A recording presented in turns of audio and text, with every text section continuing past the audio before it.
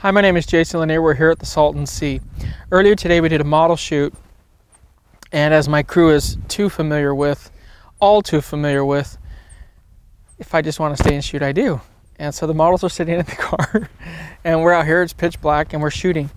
Um, there's dead birds, but the Salton Sea is one of the most amazing places to shoot, and it's an amazing place to do landscapes.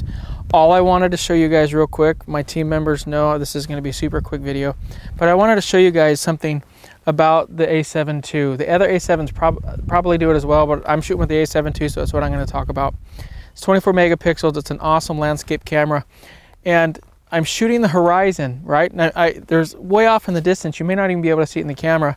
There's the city lights. I mean, way off in the distance. And I'll tell you, one of the most difficult things as a landscape photographer is focusing at night. Shooting landscapes at night is really difficult. You have to focus out to infinity. And then a lot of the lenses these days, they don't stop the focus. The focus ring doesn't stop. So you just have to kind of guess and hope and pray.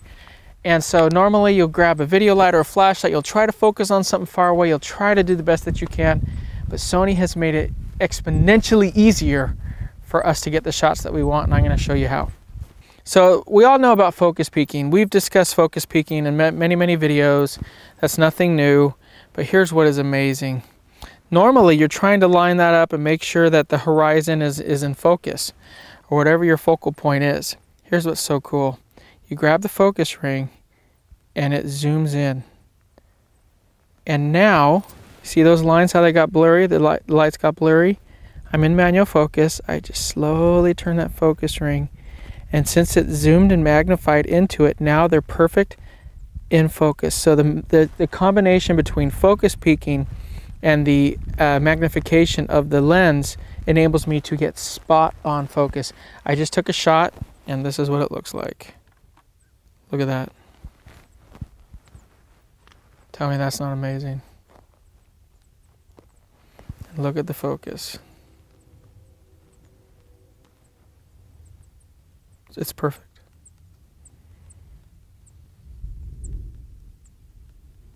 Look at that. Look at the horizon. Look how spot on perfect that focus is.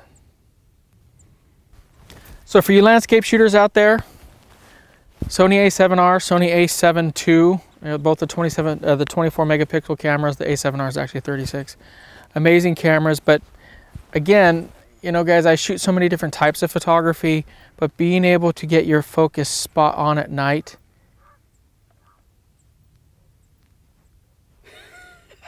No, I just saw. I'm not lying. There's like an explosion over there. Was that that big? Did you hear that noise? Yeah, no, no, no. Not, that what that was? No, you guys don't understand what I just saw. It. You sure it wasn't lightning or thunder? Or No, no, no. It's supposed to rain. No, it was like a. Weird. Wow, that was wild. It was like the sun was coming up. Wow. Okay, well, we're at the Salton Sea. You never know what's going to happen. Maybe it's the start of World War III. But one thing I can tell you is, before World War III starts, that was really odd. Um, shooting as a landscape photographer, getting that focus spot on is critical. It's what separates the pros from the amateurs and Sony can help you guys do it. It's not a commercial for Sony. I am an artisan of imagery. That's not the reason I'm sharing this. I'm sharing it because I'm excited, and I'm sharing it because it just flat out works. Uh, I'm shooting with A7 II and the Sony FE 16 to 35 Zeiss lens.